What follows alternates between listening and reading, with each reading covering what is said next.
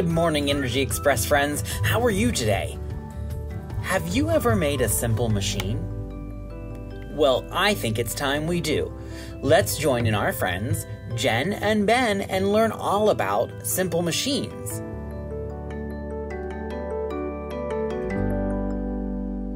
Hi, I'm Jen Robertson Honegger, the STEM specialist for WVU Extension's 4 H Youth Development Program. And I'm Ben Honegger. Today we're going to be doing the STEM Care sponsored activity, Aisha Makes Work Easier.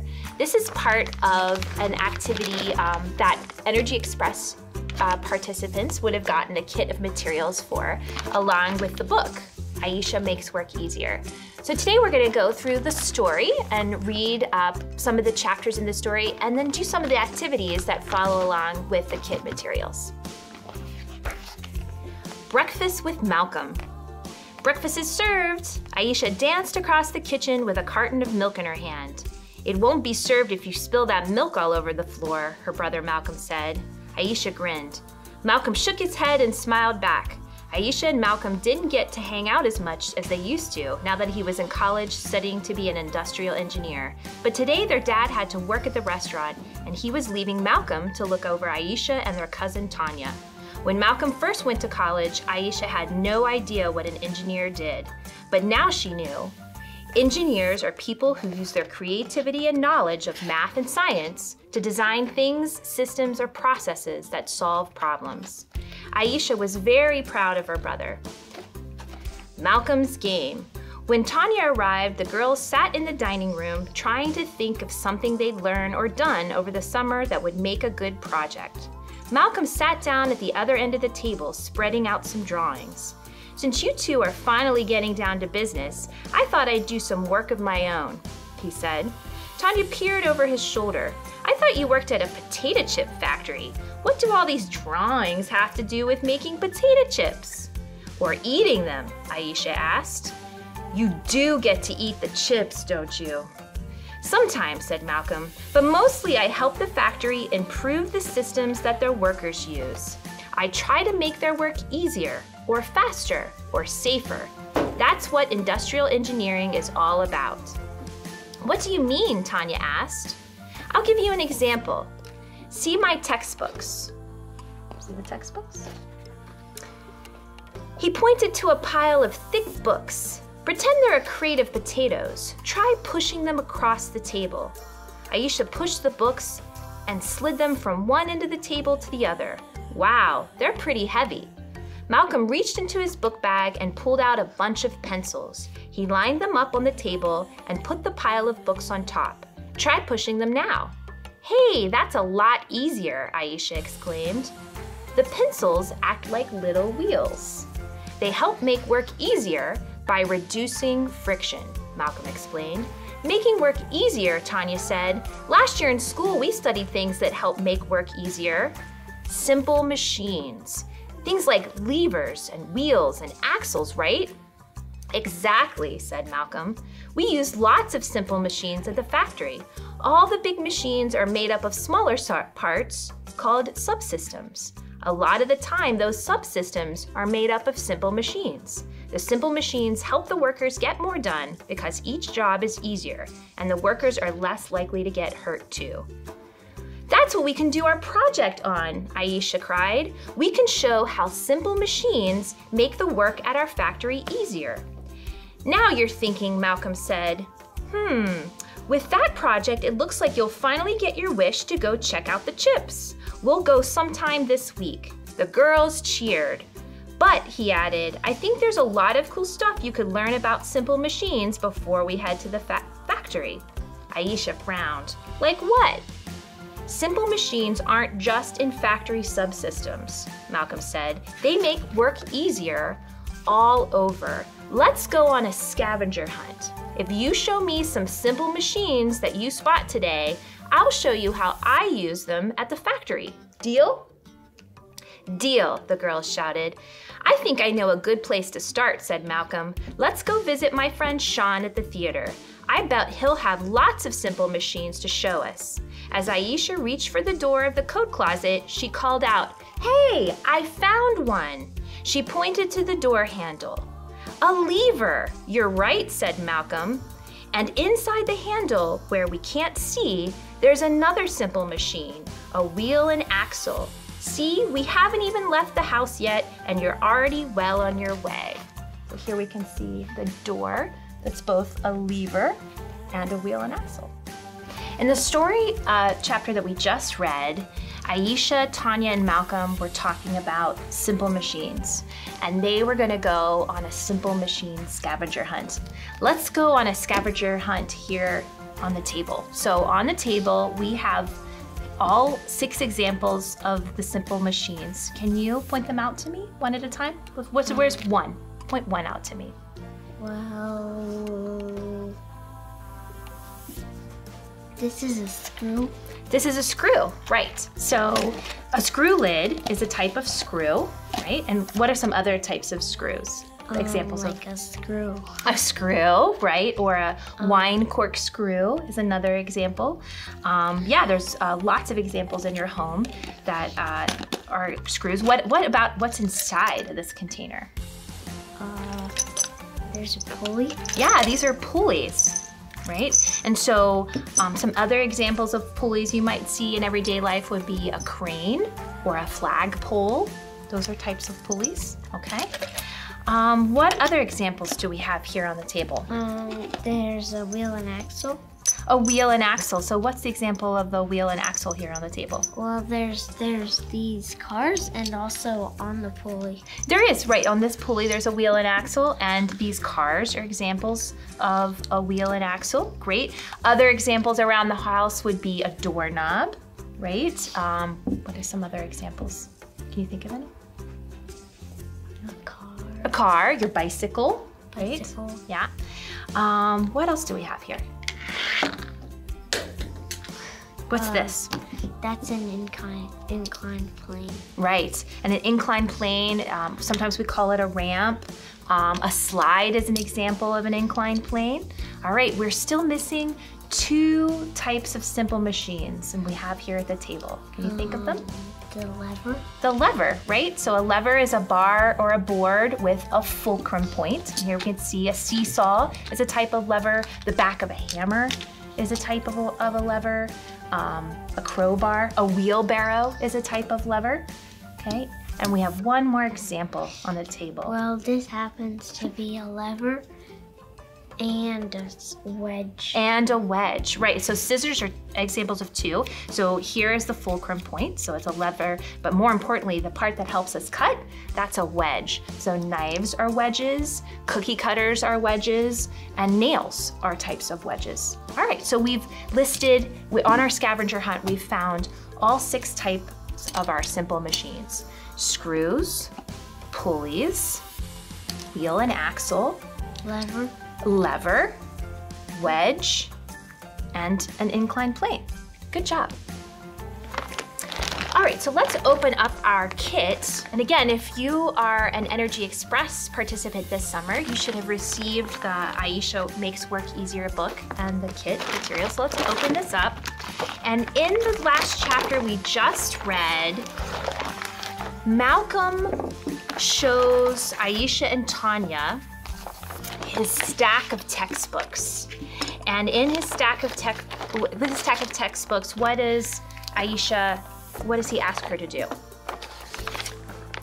Do you remember? Oh, push it across the table. Push it across the table. So here I have a big stack of books, and I want you to do the same thing that Aisha did. Okay. Okay. That's pretty heavy, right? Yeah. Not too hard to push, but not too easy either. So let's look at the materials inside of our kit bag. What can we use from our kit, just like Malcolm did, to help make that work easier? What simple machine can we create? Um, you can create the pencils. The pencils, yeah, he used pencils, and we have these rods, and he used the pencils as an example of what? Of wheel and axle. Wheel and axle, right. So wheels and axles, sometimes we think of them being very complex, like on a car or a bike, but they can be very simple. So which, so we actually have two sets here of things that roll, like wheel and axle. Which do you think we should use? these ones. These ones here. So yeah, you chose the little ones. Why didn't you choose the big one? It actually rolls really nicely. Because because there's only one of them and it'll work like a lever and it'll be unbalanced. It would make it unbalanced. So let's test it and see how that happens. So if I pick this up and we put the books on top, it does roll really nicely, but then what happens? It's unbalanced. It's unbalanced, right? Have you ever tried to um, ride a unicycle? No. No, you've never tried a. u- It's I've really. tried But it's, is it easy or hard? hard. It's really hard because there's only one wheel, so it's unbalanced, so it's difficult to do. So, so we only have one of those bars. We won't use that one. So instead, you said we should use these. How can we set these up to be an example of a wheel and an axle for the books? What should we do? Spread them out. Spread them out. Okay, Put the books on top. go ahead. All right, now go ahead and give it a try. It's a lot easier? Yeah. And what did what did he say that that the wheels and axles do? They help reduce Friction. friction. Great. Good job. A visit to the Museum of Science. After lunch, Malcolm led the girls to the Museum of Science. As soon as she stepped inside, Aisha's eyes lit up. What is that? asked Aisha, pointing to the machine in front of her. The machine inside, a plastic case, had lots of metal parts that were moving some balls around. I bet we can find some simple machines in there, Tanya said. This is like a Rube Goldberg machine, Malcolm explained. Usually, when someone designs a machine, they try to make a complex process simple, using as few steps as possible. The goal of a Rube Goldberg machine is just the opposite. Machines like this are designed to make a simple process complicated, using as many steps as possible. It's more fun this way. Look at how many cool steps it takes to move the little balls around, said Tanya. She watched the ball move from the bottom of the machine to the top by taking a ride on a corkscrew. Here we can see the Rube Goldberg ball machine. I see a lever and wheels and axles too, Aisha said. We've barely gone inside the museum and we've already found all kinds of simple machines. I bet we can find more, she said, pulling Malcolm's hand. As they walked up to the huge model of a Tyrannosaurus Rex, Tanya pointed to the sharp, pointy wedges that he had for teeth. I wonder if dinosaurs could dance, Aisha giggled. I think the Tyrannosaurus Rex would dance like this. She puffed up her chest and rocked back and forth with a big lumbering steps as Tanya and Malcolm laughed. So, what would teeth be like? What kind of simple machine would your teeth, like a Tyrannosaurus Rex teeth? A wedge because they cut through something. Exactly. Good job. When they entered the Science in the Park exhibit, Aisha and Tanya saw children playing on merry-go-rounds and racing toys down inclined planes. Malcolm led them to the seesaw. Hey, Aisha said, that seesaw is a simple machine, isn't it? What kind of simple machine is it? A lever. A lever.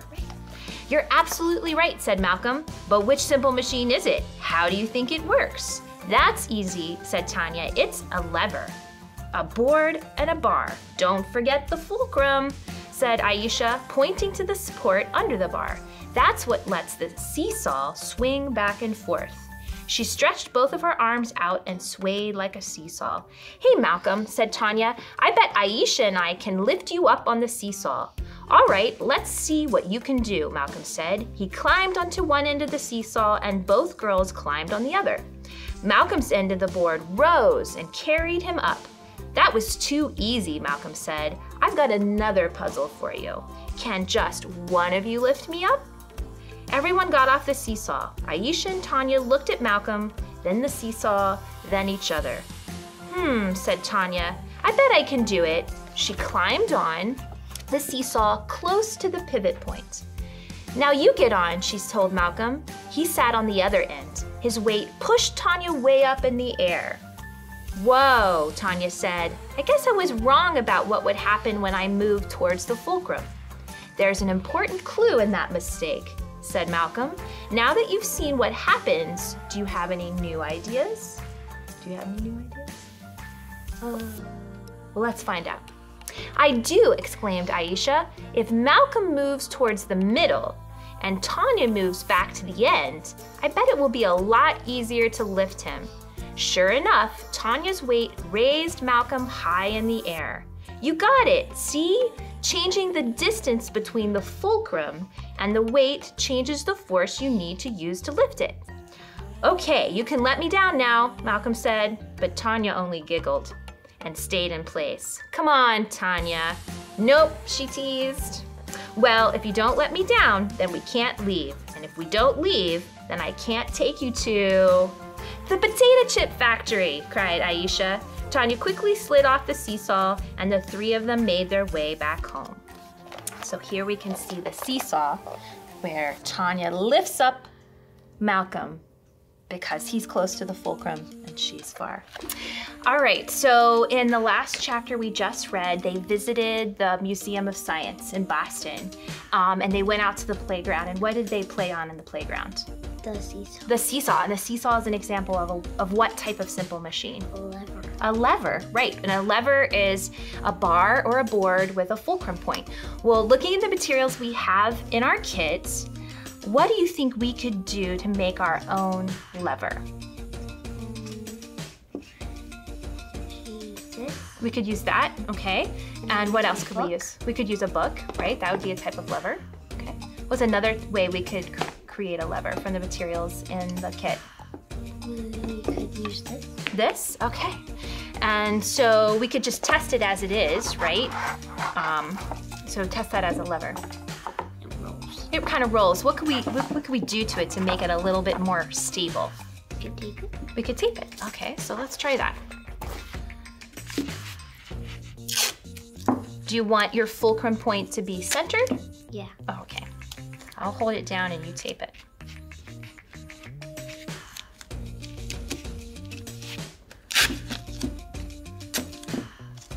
Is that centered? I can't tell. Got it? Yeah. Okay, great. All right, you want to test it again?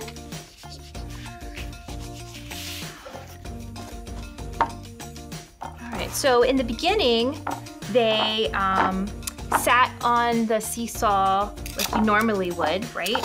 Uh, and Tanya and Aisha were on either ends.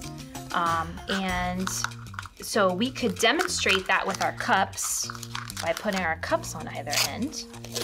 And Aisha and Tanya are about the same weight, so they were able to balance each other out pretty easily, right? Yeah.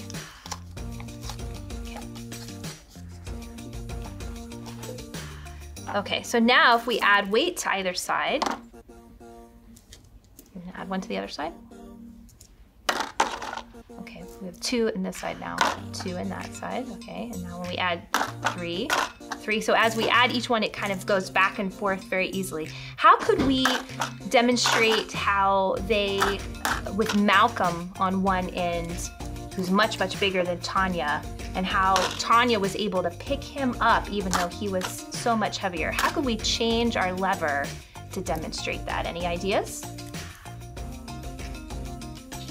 Oh, we could we could put the the fulcrum point on the other side. On a different side, And okay. We could put a cup and a different. We could do that too. Let's go ahead and let's change the fulcrum point and see how that works that way. So if we pull those off.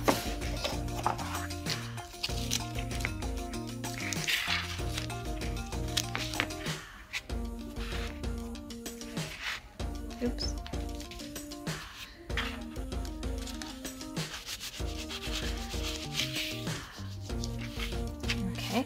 Back down. All right, so now we the fulcrum point has changed. And what do you think is going to happen, like with Malcolm and Tanya? Um, who, when, how was Tanya able to pick him up? When he was closer to the fulcrum point or farther from the fulcrum? Close. When he was closer. Okay, so let's put this one here and this one here. So this cup would be an example of Malcolm Oh, or Tanya? Malcolm. So he's heavier. So you, well, let's go ahead. I'm gonna put, put- there's nothing in this one right now, so let's put one. Oh, still stays. Two, three, four. Took four washers to make this one go. But let's say that Tanya is half the weight of Malcolm. So there's two washers and there's four washers. She's still She's still heavier. Yeah, so if I add another one, still doesn't do it. So we're at five, six, seven to two. Try just one more and then see what happens. Yeah, so we can see, even though we have a heavier weight here, because our fulcrum point, the weight is heavier, closer to the fulcrum point, we can push down with less force on this end uh, to move that heavy weight up. I don't know if we have enough washers for that one, you think? Maybe. Almost, we're getting close. So Maybe we have to take a few out of here. Oh, there we go. Good job. A potato chip treat. At home that afternoon, Tanya and Aisha talked about how to present their project in class. We could write about it, said Tanya, but I'd rather just take everybody in our class to the factory. What if we bring the factory to class? That's a great idea, said Tanya. We can pretend a truck drops off potatoes on the floor. If you have to keep reaching down to the floor so you uh, have to pick them up to cook them, that will make your back hurt.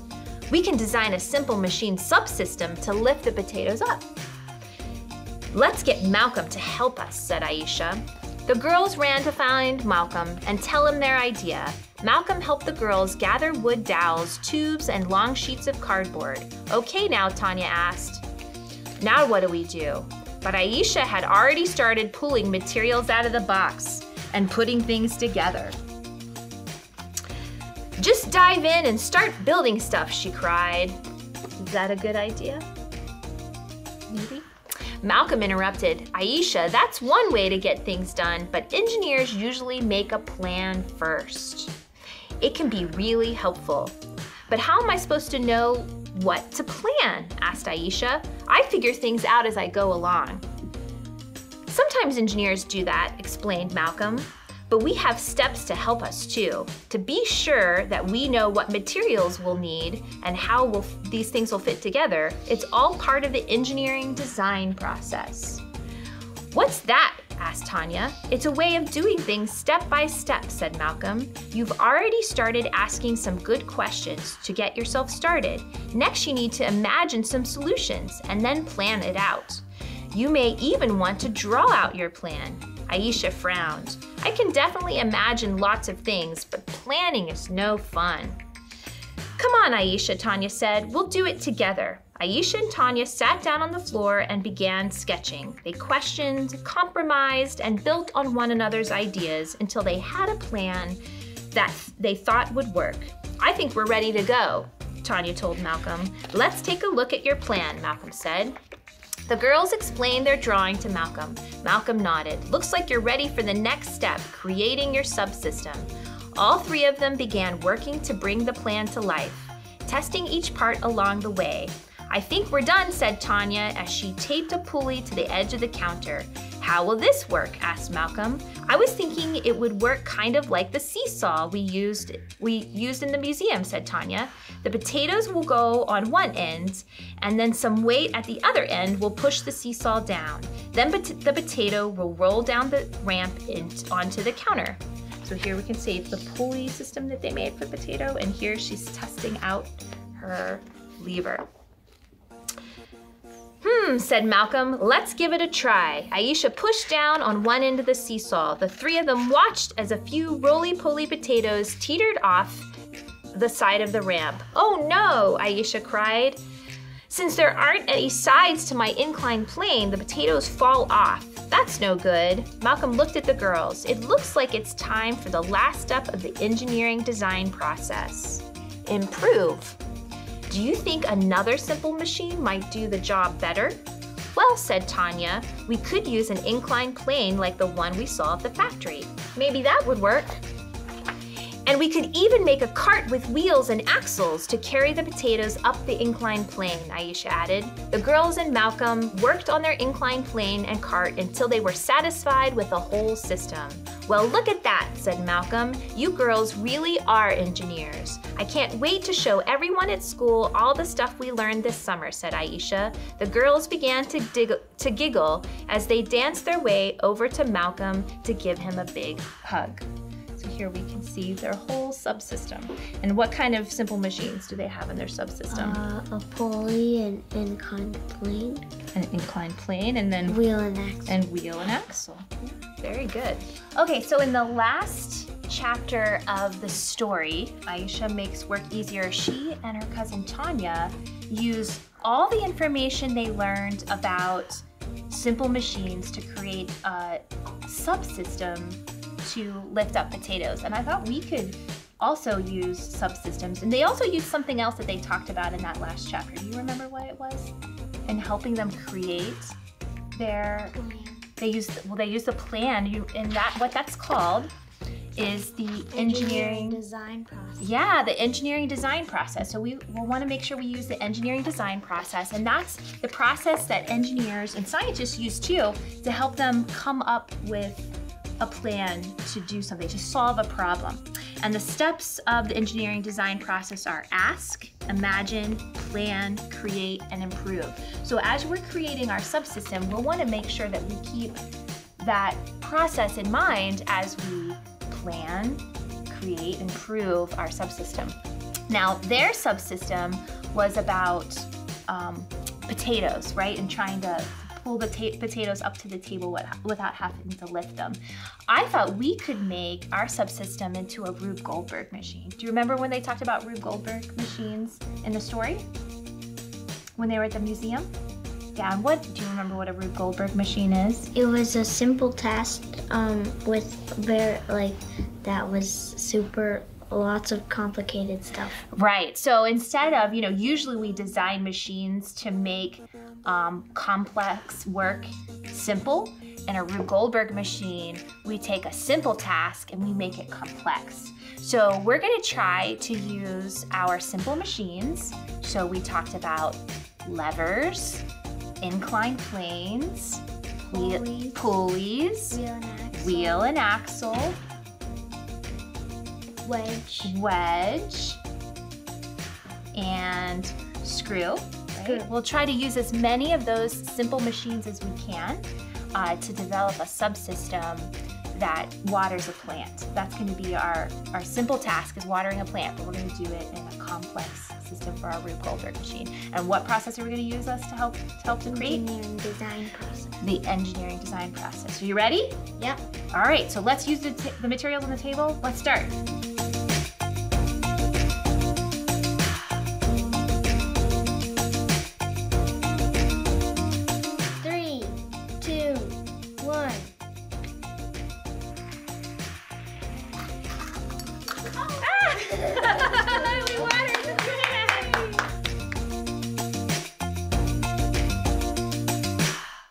Okay, friends, now it's time for you to go out, gather up some household items, toys, and tools, and be a part of the Rube Goldberg Water a Plant video challenge.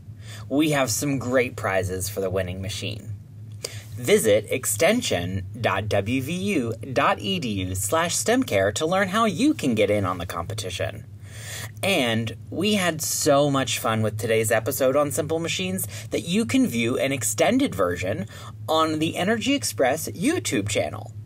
Thanks for joining in, and we'll see you next time.